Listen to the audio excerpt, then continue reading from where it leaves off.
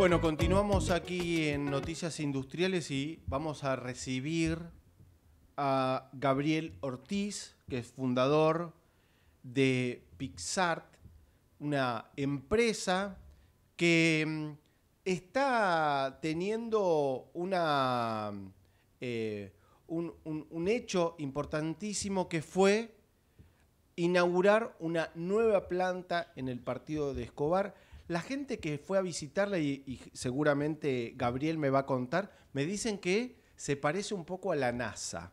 ¿Por qué? Porque hay que entrar con barbijo, porque la, atmósfera es controlada. ¿Por qué? Porque la, producción de chip, de computadoras, y para mantener esa calidad hay que tra- trabajar en esas condiciones. Así que, Gabriel, bienvenido a Noticias Industriales. Un gusto charlar con vos.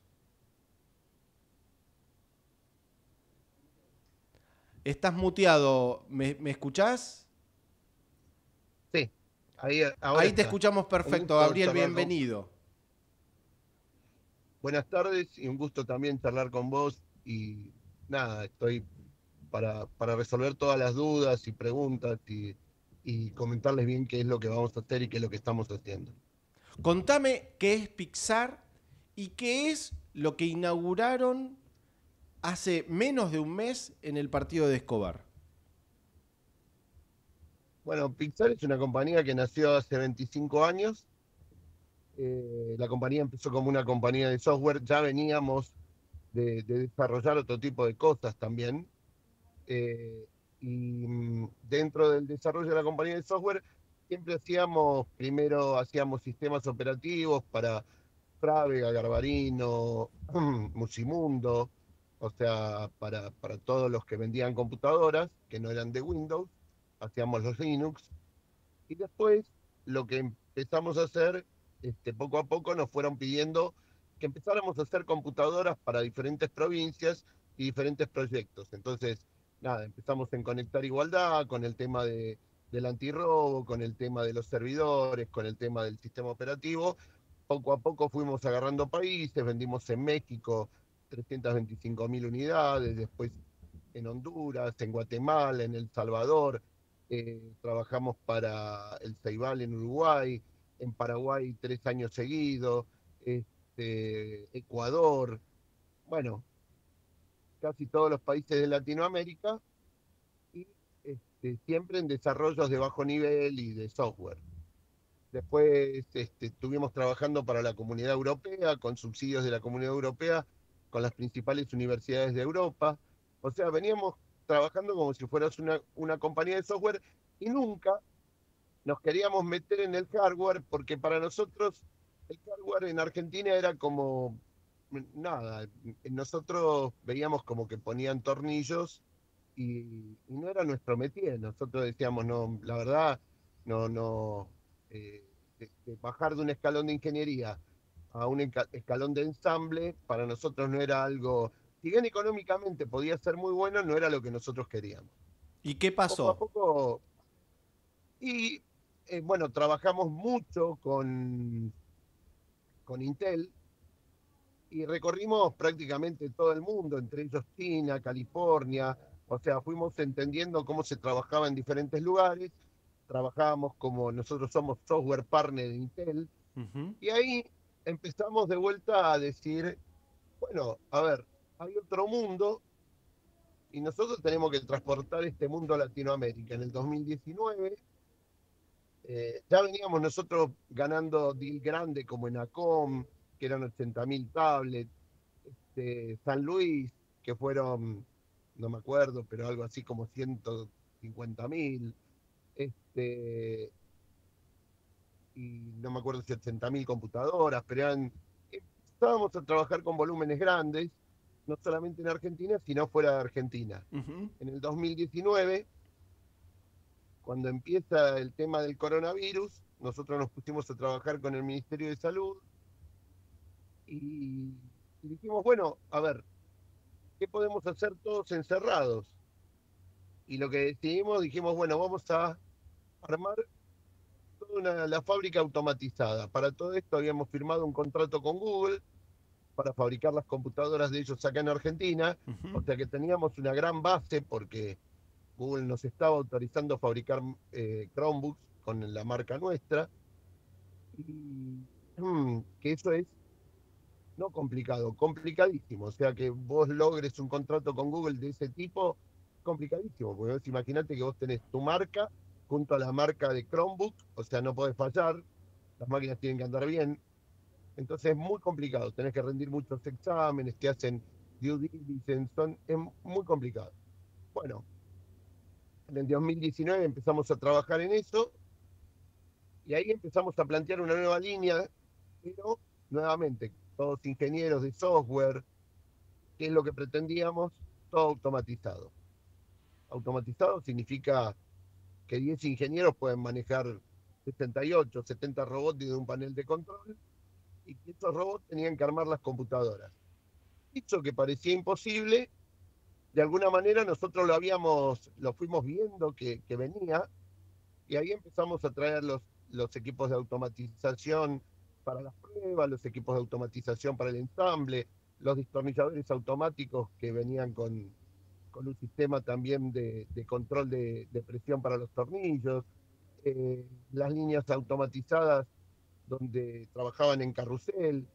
Bueno, todo eso, que bueno, en Argentina era la primera vez, unido a que esas líneas tenían que funcionar con energía solar, que tenían que ser paneles, que nosotros tenemos en, la parte de arriba de la fábrica, que son 540 kilowatts, que nos suministran toda la energía necesaria para el funcionamiento de la fábrica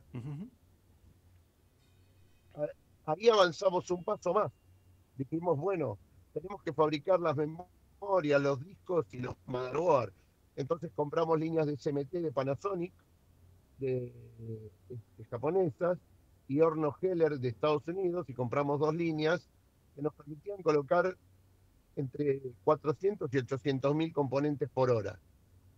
Ahí ya nosotros estábamos en un nivel donde decíamos, bueno, Hoy no solamente podemos ensamblar la computadora completamente, automatizando los procesos, sino que estamos em, para competir en Estados Unidos con el tema de huella de carbono, eh, como, como se está planteando en todo el mundo, en Europa también. Cuando vos le compras a un proveedor, el proveedor tiene que demostrar su huella de carbono.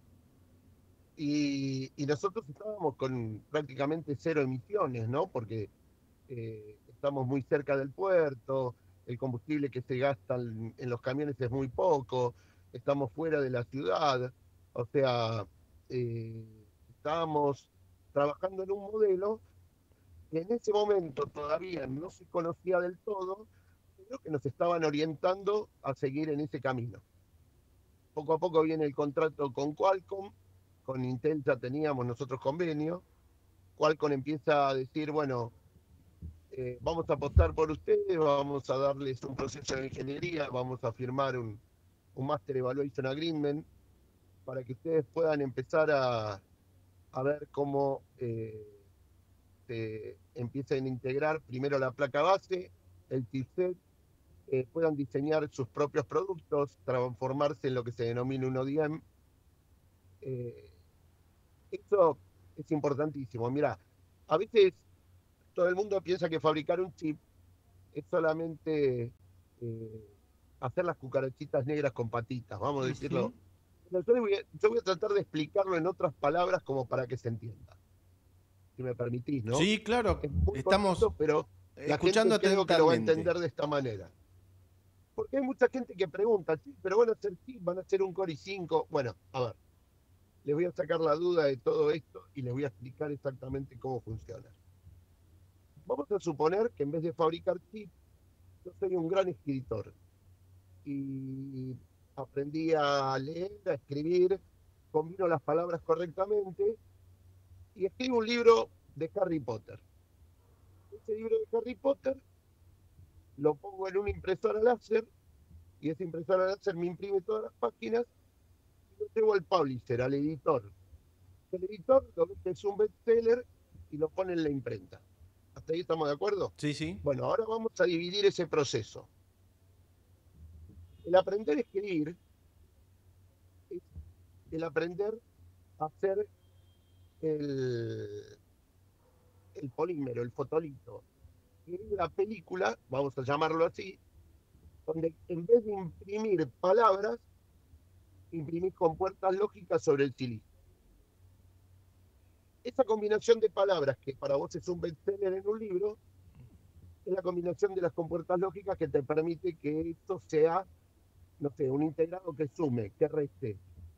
Entonces, vos ahí aprendiste a combinar todas esas compuertas lógicas para que después, en un proceso de litografía de laboratorio, que un proceso de litografía no es más que esa película, imprimirla con resina sobre una placa de silicio, vos puedas obtener un chip. Esas máquinas de laboratorio sí las tenemos, pero esas máquinas nos permiten hacer chips de los que se diseñan o de los que hagamos, donde podemos probar si eso funciona. Una vez que nosotros probamos si eso funciona, se manda a cualquier fábrica que es como una imprenta, que imprime de a millones de lo que vos hiciste. Pero vos tenés que primero escribir ese bestseller. Entonces, eso es en lo que nos están ayudando en estos primeros pasos a entender los procesos, a entender cómo tenemos que colocar las compuertas lógicas, pero además de todo eso, nos están dando eh, algo que ellos llaman eh, referent design o diseño de referencia. Con este diseño de referencia nosotros partimos a hacer nuestros propios diseños, con los errores o con las ventajas que podamos tener, pero siempre con gente que nos está ayudando, 80 ingenieros de afuera, que nos ayudan y nos corrigen o nos enseñan. Entonces, aprendemos muchísimo de chipset, de programación de, de bajo nivel, o sea, cosas mucho más eh, que se necesitan para hacer todo el proceso de eh, silicio y de semiconductores. Bien. Cuando nosotros tengamos todo esto absolutamente dominado, o sea, independientemente de la parte robotizada, que eso no hay problema, independiente de la línea de SMT, que eso tampoco hay problema, eh, para nosotros es más sencillo conocer eso, esos temas.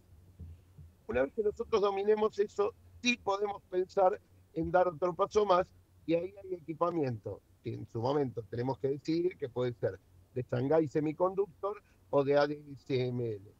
O sea, que son ASML, que son las compañías que fabrican este equipamiento. Una tiene tecnología china, la otra tiene tecnología europea y americana, y nosotros seguramente vamos a elegir la europea y americana. Bien. Todo esto pasa porque en el mundo discúlpame porque yo estoy hablando y no sé si me querés preguntar algo. No, Javier, eh, Gabriel, la verdad es que eh, te escucho y, y, eso certifica de que ustedes son la única empresa argentina hoy y latinoamericana que están haciendo estos componentes, estos chips. En, en Argentina, digamos, los que tomamos la decisión de hacerlo, sí somos la única, creo que competimos mucho con Brasil, hay 80 ingenieros en Brasil que están avanzando como nosotros así. Este, y cada país está tratando de pelear su lugar en el mundo por el tema del silicio. Bien. ¿Por qué es importante esto? Quiero, quiero que lo entendamos porque es importante también, ¿no? Es importante porque vos viste que hay un conflicto bélico entre China y Taiwán, donde China dice que Taiwán es China y que quieren atacar y que quieren que se anexe por las buenas o por las malas. La principal fábrica de componentes es TSM de Taiwán, ¿no? Taiwán Semiconductor, TSMC. Esa compañía fabrica casi el 60% de los componentes de chips que se venden en el mundo, pero también la otra compañía que está cerca y que fabrica componentes es Samsung en Corea, en Corea y vos sabés la rivalidad que hay entre Corea del Norte y Corea del Sur, o sea, que el lugar donde está no es el mejor lugar.